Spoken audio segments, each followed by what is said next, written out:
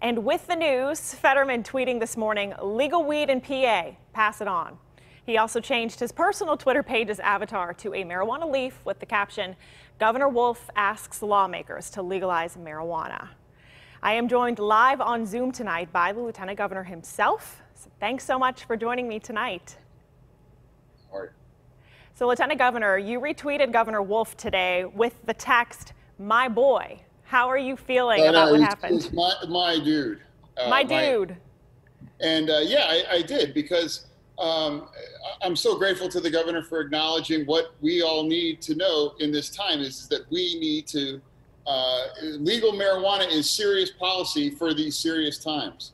And uh, today was a, an important day. And I know there's going to be resistance, but we need to make sure that um, we keep our eye on the prize. And that is making sure Pennsylvania is in the best possible condition to move forward and survive this pandemic in the best possible financial shape. And legal marijuana is not a panacea, but it can be a serious option for jobs and revenue. Let's get to the root of the issue. Why do you think marijuana is illegal to begin with? I really can't tell you. It's a plant, and it never really made much sense. If you are opposed to legal marijuana, then I, I, can only assume that you're opposed to legalize uh, alcohol or tobacco or opioids, or you would oppose gambling. The, the, the point is, is that all of these things are safe and legal and regulated here in Pennsylvania, and they have a lot of downside. Everybody knows that. And this idea that a plant, that a plant with no known medical overdoses, uh, deaths, could be criminalized to the point where we punish tens of thousands of people every year and give them a criminal record and are denying uh, our state treasury billions of dollars in long-term revenue. I, I honestly don't understand the prohibitionist mindset when it comes to cannabis here in Pennsylvania. People all across Pennsylvania love our medical marijuana program, even though it has some shortcomings. Uh, and it's a bipartisan issue to legalize it. Uh, a majority of Republicans support it. A majority of uh, a big majority of Democrats support it. This is not controversial. Cannabis prohibition is a true minority viewpoint here in Pennsylvania. Some KDKA viewers today said they could care less either way what happens, but they wanted to know what does this have to do with COVID? Well, we are looking at could what could be a four billion dollar deficit here in Pennsylvania. So what does it have to do with COVID? It's like where else can you create billions in long term revenue, create tens of thousands of new jobs, give a crash uh, excuse me a cash crop to our farmers, to restorative justice and criminal reform, uh, justice reform against the thousands and thousands of Pennsylvanians with with uh, a record just because they consumed a plant. Um, it, there is no other solution that I'm aware of that is so turnkey, so supported by the public, and so ready to benefit Pennsylvania. And uh, some of your viewers may not know that New Jersey will vote this November to legalize marijuana, and 40% of our population is going to be within a 30 minute drive of legal marijuana, legal, New Jersey's legal marijuana. And I would prefer to have it be um, our legal marijuana as opposed to a different state's. We reached out for the Republican response today, and we want to pop that up on the screen. I'll read it to you.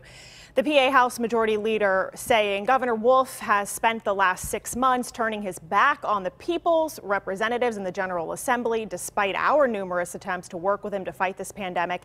It is disingenuous for this governor to put forward an unaffordable legislative agenda and require taxpayers to bail him out of his unilateral mandates that have devastated their lives and livelihoods. What do you say to that? like what what a bizarre statement. It doesn't even mention it because they don't want to mention it because they know that it's popular and they know people want this in pennsylvania. So this idea that that it's it's a controversial uh, opinion it's much more controversial to oppose it at this point.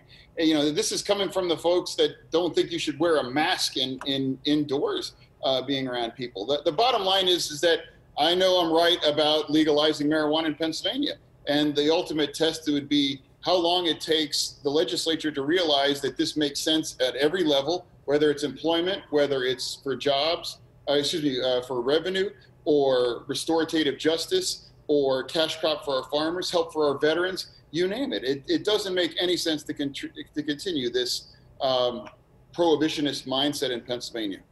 What are some of the best arguments you are hearing from the other side? Some people saying, what's next after marijuana? Will people be driving while they're high? What do you say to that? Well, I mean, this is a legislature that that approved a uh, you could get a margarita curbside handed to you ready to drink the size of a big gulp. They're, they they didn't seem to have a problem with, with with driving under the influence with that. And this idea that marijuana you can't consume that as responsibly as as alcohol. Should we make alcohol illegal then? Um, again, I don't I don't understand the logic of an individual that says, "Hey, it's okay to get a margarita handed to you in your car, ready to drink, the size of a big gulp." but we can't trust adults to safely consume a plant at home or in a manner that doesn't put themselves or anyone else at risk. I, I, genuinely don't understand how somebody can hold those two opposing ideas at the same time. My last question is there's some people watching tonight, at least five have emailed me today, still waiting for money from the state's unemployment office, and they're upset that the talk today is about marijuana. What do you say to that? I, I would say that the unemployment situation continues to be dire, and legalizing marijuana would create tens of thousands of new jobs. And in an environment that doesn't require any subsidies and it would take care of itself. It would create all these new jobs. And to those people that have been denied uh, or having trouble getting their unemployment dollars, I mean, that's that's truly unfortunate. And the backlog continues to get smaller and smaller, and steps have continued to be uh, be taken. But but we're not where we need to be yet. But it was an overwhelming surge of the unemployed, and the backlog continues to dwindle down to the point where we'll be eventually all caught up. Caught up. Lieutenant Governor, we really appreciate you taking the time. Thanks so much for spending some time with us here tonight. Oh, my pleasure. Thanks for having me.